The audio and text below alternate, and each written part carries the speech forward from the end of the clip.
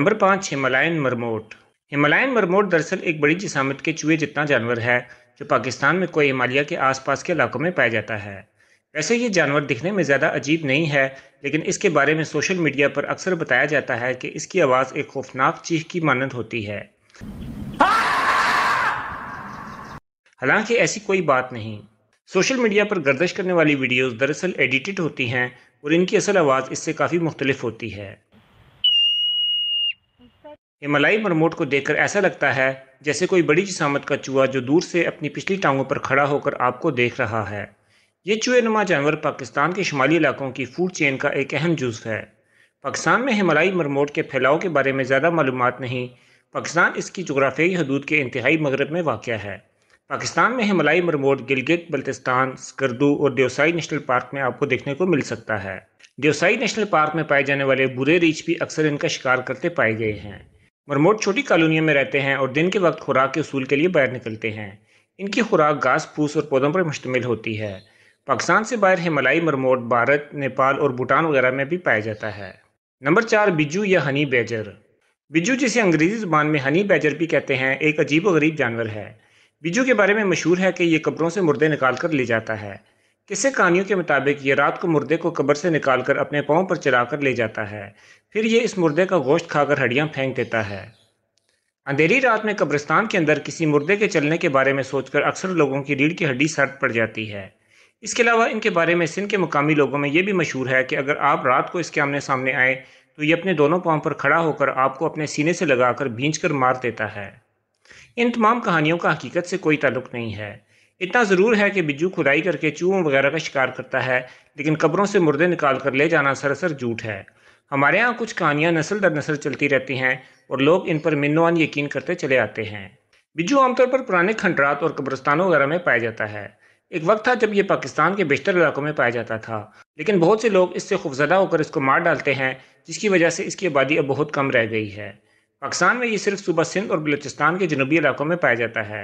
यहाँ भी इसकी आबादी ज़्यादा नहीं और हालात ये हैं कि ये करीब इन इलाकों से भी जंगली तौर पर ख़त्म हो जाएगा। पाकिस्तान से बाहर ये भारत, नेपाल, वस्ती एशिया मशरक़ वस्ती और ब्राज़म अफ्रीका के बहुत से ममालिक में भी पाया जाता है। बिजू की खुराक में सांप, चूहे और परिंदे वगैरह शामिल हैं। बिजू को आप जंगल का डॉन भी कह सकते हैं। इसकी चाल चलन बदमाशों वाली होती है और ये शेर समेत किसी भी जानवर से खौफजदा नहीं होता। किसी भी चीज़ या जानवर का इसे खौफ नहीं और ये हर एक से पंगा ले सकता है। पाकिस्तान में बिज्जू कभी पूरे सिंध और इसके अलावा पंजाब में भी पाए जाते थे, लेकिन इनकी बदनामी के बायस लोग इनको बेदर्दी से मार देते हैं, जिसकी वजह से इनकी तादाद अब पाकिस्तान में नहायत कम रह गई है। पाकिस्तान के अलावा भारत में भी इनकी आबादी अब नहायत कम है। नंबर तीन सलाह या इंडियन पेंगोलिन।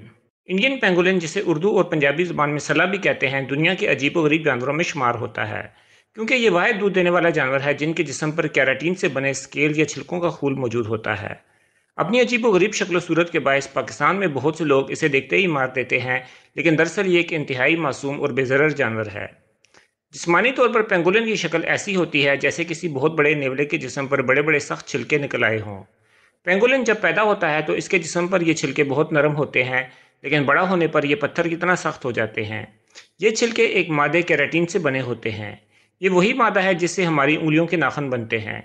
इसके जिसम पर मौजूद छिलके बेवजह नहीं होते बल्कि ये इसकी हिफाजत करते हैं। ख़तरा महसूस होने पर यह जानवर अपने जिसम को लपेट कर एक गोला सा बन जाता है, जिसके ऊपर इसके पथरीले छिलकों के सिवा कुछ दिखाई नहीं देता।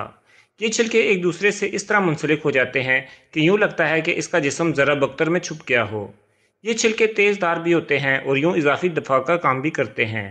अगर पेंगुलिन का सामना किसी गोश्तखोर जानवर से हो जाए और वो फरार की पोजीशन में ना हो तो वो फौरी तौर पर ख़ुद को पत्थर के गोले में तब्दील कर लेता है और यूँ अपनी जान बचाने की कोशिश करता है।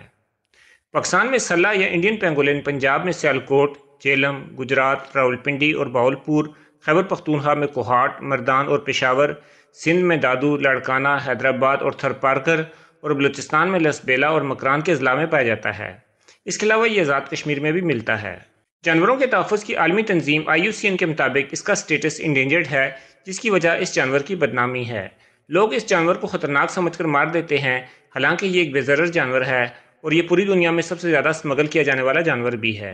पाकिस्तान में इंडियन पेंगुलिन की आबादी इंतहाई तेज़ी से कम हो रही है। ये जिन इलाकों में बाकी बचे हुए हैं, वहाँ लोग इनकी अजीब व गरीब जिसमानी साख देख कर इन्हें ख़तरनाक बला समझ कर मार देते हैं।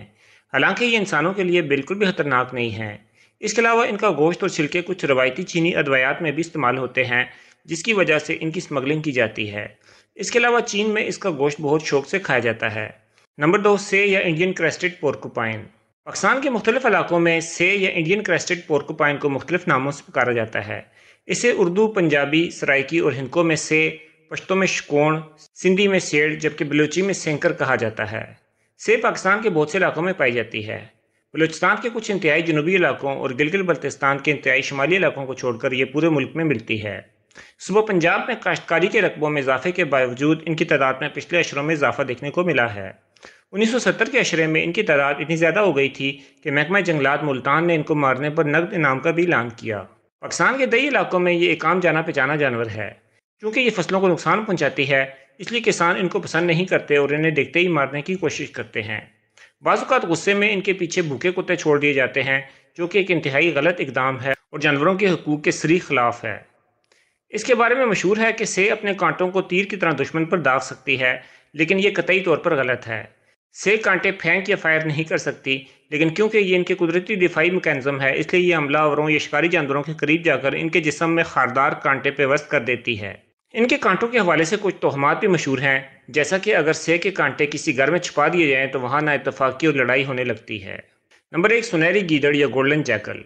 पाकिस्तान में सुनहरी गीदड़ या गोल्डन जैकल एक आम पाए जाने वाला जानवर है। इसे पंजाबी में गिदड़ और कश्मीरी में शाल कहा जाता है। ये मुख्तलिफ़ किस्म के माहौल में अपने आप को डालने की सलाहियत रखता है। ये शहरों के मजाफात, दही इलाकों, जंगलात, घास के मैदानों सराई और नीम सराई इलाकों में आम मिलता है। पाकिस्तान में गिलगित बल्तिस्तान के कुछ शुमाली पहाड़ी सिलसिलों को छोड़कर ये पूरे मुल्क में पाया जाता है। पाकिस्तान के अलावा गिदड़ों की ये नौ भारत, जनूबी एशिया के दीगर ममालिक, जनूब मशरक़ी एशिया, मशरक़ वस्ती और जनूब मशरक़ी यूरोप के ममालिक में भी पाई जाती है। गिदड़ के बारे में भी बहुत सी अजीब बातें मशहूर हैं। गिदड़ के बारे में मशहूर है कि ये मुर्गियों बतखों और बेड़ बकरों पर हमलावर होते हैं और अक्सर देही इलाकों में शदीद नुकसान का बायस बनते हैं, जिसकी वजह से लोग इनसे नाला रहते हैं और इन्हें जान से मारने की तदबीरें ढूंढते रहते हैं। डान अखबार की एक रिपोर्ट के मुताबिक पाकिस्तान के ज़िला चकवाल में कुछ नौजवान लड़के कुत्तों की मदद से गिदड़ का शिकार करते हैं। शिकारी कुत्ते गिदड़ को आनंद फानंद मार देते हैं। ये अमल न सिर्फ़ जंगली जानवरों के हवाले से गनावना अमल है, बल्कि इसे गिदड़ों में पाए जाने वाला रेबीस वायरस पालतू कुत्तों में भी मुंतकिल हो जाता है और फिर वहाँ से इंसानों को भी लग सकता है। गिदड़ के हवाले से कुछ तोहमात भी मशहूर हैं, जिनका हकीकत से कोई ताल्लुक नहीं है। मसलन अगर मुर्गियाँ दरख्त पर बैठी हों और नीचे से गिदड़ गुजर जाए तो वो खौफ के मारे नीचे आ गिरती हैं।